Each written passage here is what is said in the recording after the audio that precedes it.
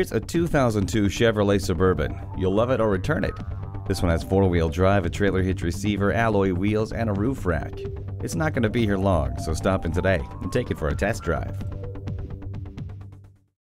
Your satisfaction is our goal. We're conveniently located at 2375 County Road 10 in Moundsview, Minnesota.